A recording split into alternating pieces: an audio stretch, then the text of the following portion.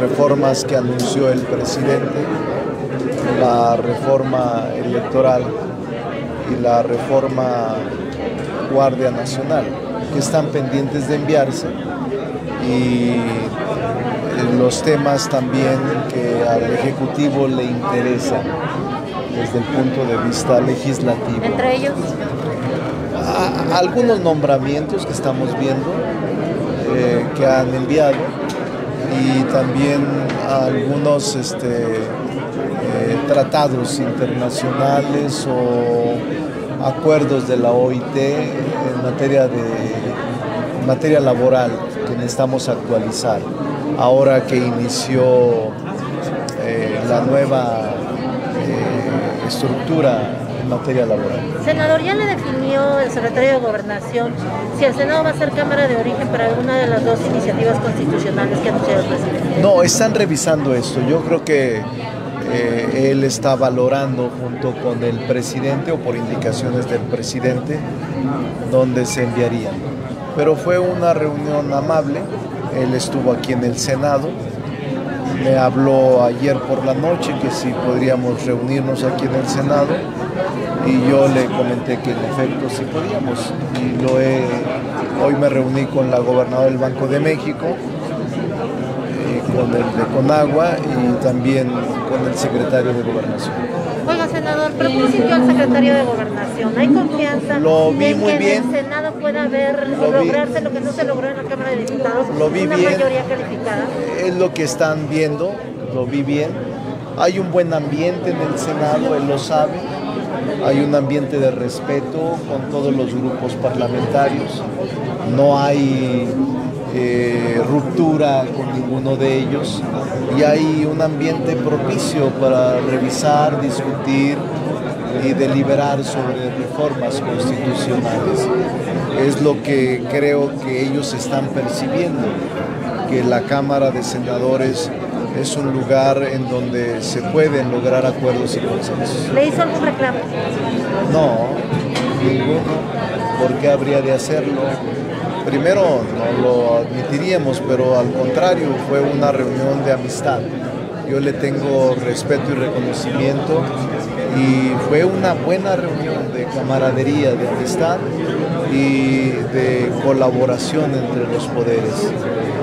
Agradable. ¿Algún encargo específico para el fin de la legislatura, para el cierre? No, la semana que entra ya concluimos eh, y estamos viendo cómo el cierre todavía logramos alguna aprobación de leyes que son indispensables para el funcionamiento institucional de algunas dependencias. Ninguna de esas dos reformas constitucionales habría la posibilidad de que se sacara en un extraordinario, ¿no es así?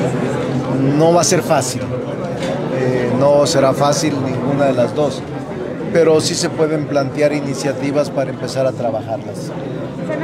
Pero no para aprobarlas en extraordinario. Tenían que, tendrían que esperar al siguiente ordinario. Será difícil, pero nos dan estos meses de receso, nos puede servir para hacer un análisis juicioso sobre todas las materias que se presentan. Sobre todo estas dos, la política electoral y la de la Guardia Pero Nacional. sí se dejan para septiembre, adelante de septiembre. Eh, vamos a ver. Voy a hablar con los grupos parlamentarios. Y una vez que la presenten ya nos pondremos de acuerdo sobre el mecanismo de análisis y discusión de la misma. Oiga, senador, en la mañana el presidente lo acusaron con el presidente de que usted está en contra de la política de linchamiento de Morena. Y el presidente respondió que usted está en su derecho, pero que la campaña de seguir denunciando a los diputados que voten en contra de lo que es bueno para el país va a continuar. Bueno, es una opinión que respeto. No me voy a confrontar con el presidente, yo ya emití mi opinión. Y dijo que no importaba que estuvieran por, por en medio las reformas, los, con- los consensos para las reformas. Está bien, lo que él opine es correcto y yo respeto su opinión. pero complica las negociaciones. Normal, estoy acostumbrado a caminar siempre bajo la adversidad y, y vamos a tratar de sacarlas. En este sentido, senador, el secretario de Gobernación no le comentó la necesidad de bajarle este tono por parte de, o sea, que les va a hacer algún llamado a los diputadores para bajar el tono a todas estas agresiones que se están generando ya para algunos No platicamos de eso. porque el Senado ha intentado no entrar a esa dinámica Pero de polarización, pero sí está. Este, yo ya expresé mi opinión, no la voy a cambiar. Yo ya expresé mi opinión y ojalá y tengamos mayor cordura todos en todos los ambientes Algunos políticos. le han informado que hayan tenido amenazas eh, respecto a su manera de votar o su manera No, de en pensar. el caso del Senado no. No tengo información si algún senador o senadora haya recibido amenazas. No tengo y espero que no las haya.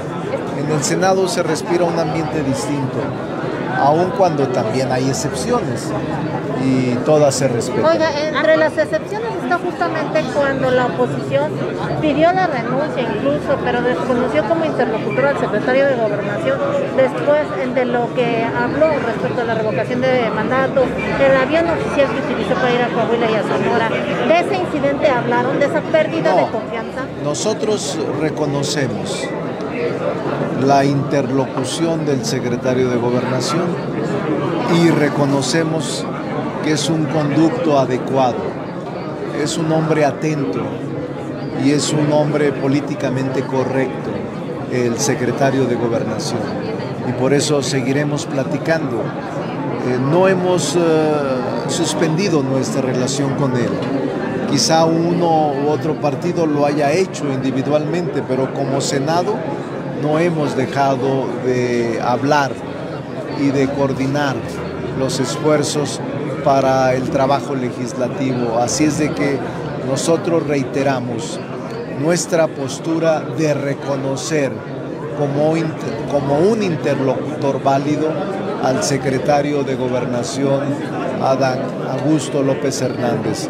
Nos parece el conducto adecuado y nos parece además que condición como secretario de Gobernación ayuda a generar condiciones de mayor equilibrio y también de mayor ¿No ponderación. se perdió la confianza después No. de lo de Coahuila y Sonora? Para mí y para el grupo mayoritario que coordino junto con los aliados que coordinan los otros compañeros coordinadores, el secretario de gobernación tiene interlocución válida con nosotros.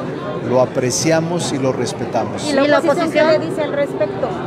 La oposición no me ha dicho nada al respecto, pero si hay algún partido que no esté de acuerdo, está en su derecho.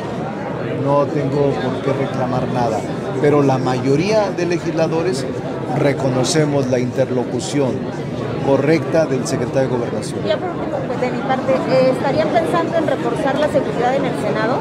No, no, aquí no hay condiciones de agresión a ningún senador. Conmino a todos los senadores a que nos respetemos y que no haya ninguna agresión a ningún senador o senadora, porque todos somos seres humanos, independientemente de que pensemos distinto. La diversidad en la pluralidad es sana y el pensamiento único no existe en el Senado.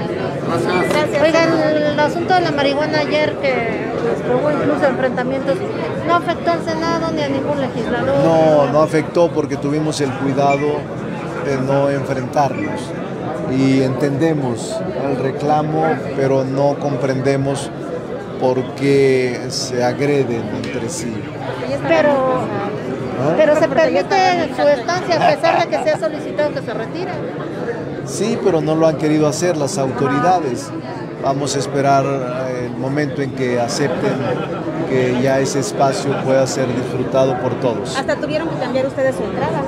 Cambiamos. Gastaron. Sobre por todo, en, los- seguridad y sobre por todo en no- las visitas oficiales. Sí, todo tuvimos que cambiarlo para no provocar y para no generar un incidente mayor. Hay que respetarlos, aunque la autoridad tiene la obligación de generarnos condiciones para que haya un ambiente correcto de convivencia en ese lugar.